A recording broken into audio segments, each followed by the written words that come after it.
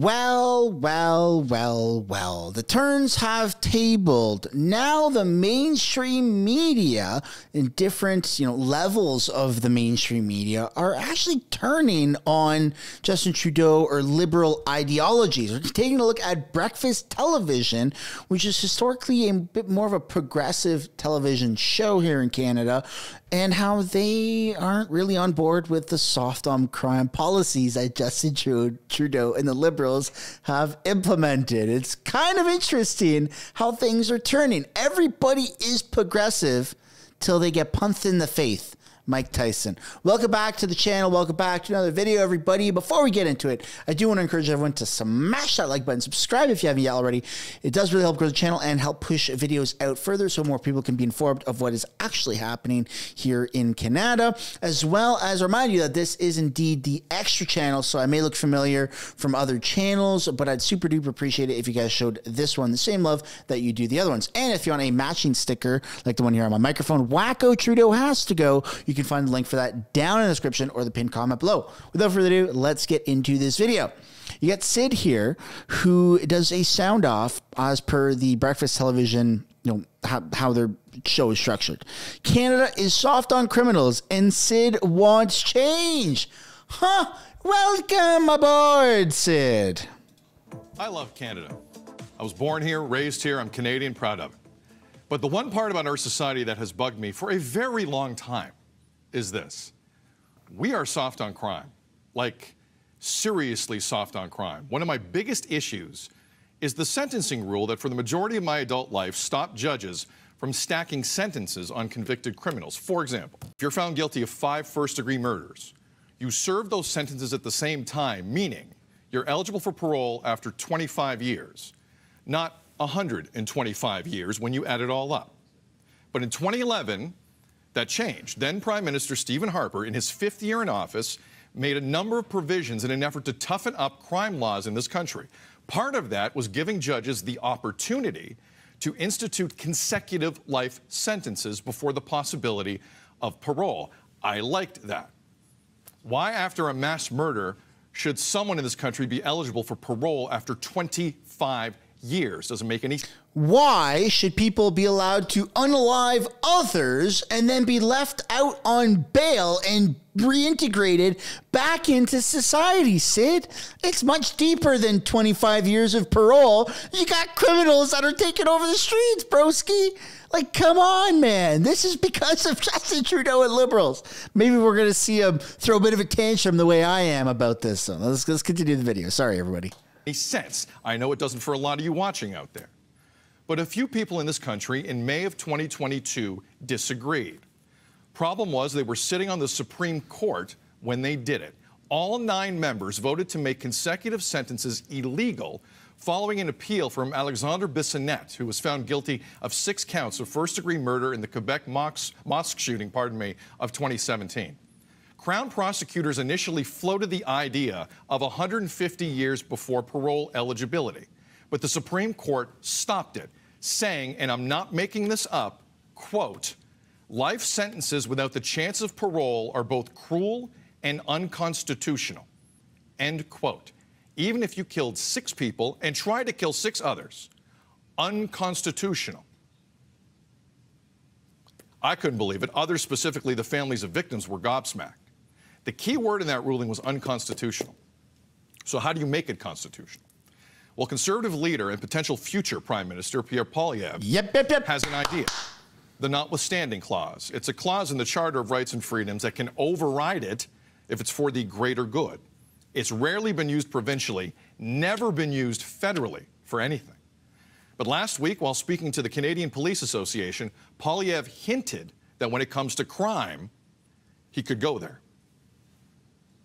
We're going to re repeal that and it will be an automatic fait accompli that multiple murderers will stay in maximum security. And by the way, they will have consecutive, not concurrent sentences. Multiple murderers will only ever come out of jail in a box.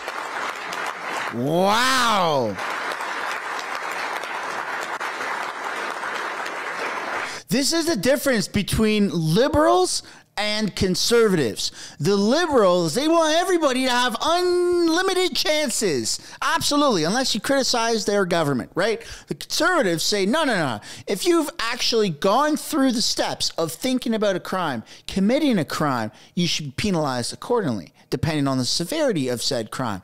If you then after have committed the crime and gone through, you know, rehabilitation, gone through the punishment, whatever it is, if you think about committing another crime and then complete said crime again and you repeat the crime, whether it's a different crime or whether it's the same crime, that is not okay and you should not be allowed to be a member of society. You're not following the rules. So get your ass in jail and you're going to stay there. And that's that. And then you you lock the door and you throw away the key.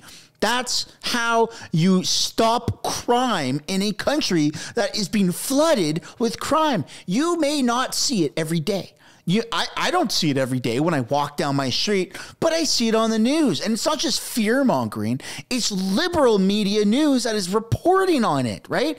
And then when, yeah, you, you, can go certain parts of downtown. Maybe when the sun goes down, you start to see, you know, the cockroaches come out to play, whatever it is. But even in town that I live in, there's like over a homicide per month. It's got 75 ish thousand people living in it. That should not be happening, man. Crime is through the roof. People are left to steal because they can't afford things. People are desensitized for whatever reason, maybe because the punishments are almost non existent to high, severe levels of crime that people are just doing it anyways.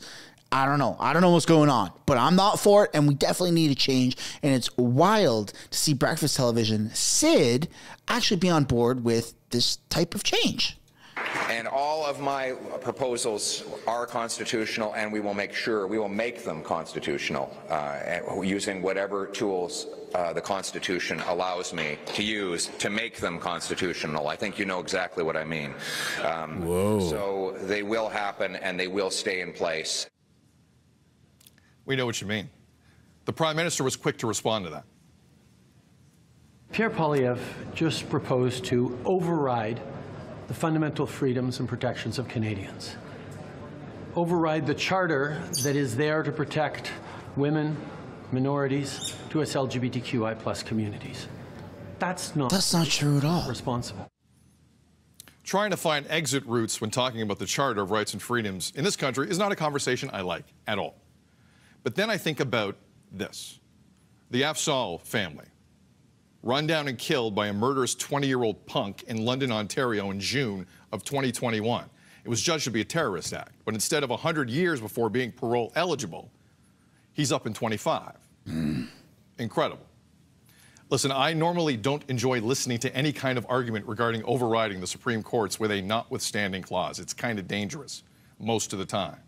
However, when it comes to giving the families of victims some peace, and keeping the worst criminals in Canadian history behind bars for the rest of their life, it's an argument I'm willing to listen to. Thank you for your time. Holy smokes, dude! This is the second video on this channel that I have made where you see the reporter, you see Sid live right now, where he's actually being, I don't want to say red pilled, but he's realizing that Justin Trudeau's policies are ruining Canada. This is, I'm like, I'm completely mind blown. I'm completely mind blown because it's not just happening on breakfast television. You're also seeing CTV reporters you're seeing CTV reporters. They're not just providing softball questions to Justin Trudeau anymore. They're asking the hard questions. And also, a, a, video that I previously just recently posted on the Extra channel, on this channel, was a reporter literally asking Justin Trudeau to his face, why haven't you resigned? I'm not talking about an alternative media source like Rebel News or True North, an a, accredited right? And an a, a, credited, according to the Canadian government standard, reporter asking Justin Trudeau that you got mainstream pe- mainstream people now that are turning on our prime minister because look. I've said it and I'll say it again. When it comes time to vote, people are not going to be voting based off of what looks good on paper anymore. Canada is almost in a state of an emergency. It's an unofficial state of emergency, if I do say so myself, if I'm allowed to even say that, okay? The cost of living is just insane. It doesn't make any sense. And it's going to get worse. The Bank of Canada said they're going to be increasing rates by up to 60% higher in the next few years. Wake up, people. You've got criminals that are going out into the streets doing crazy shit.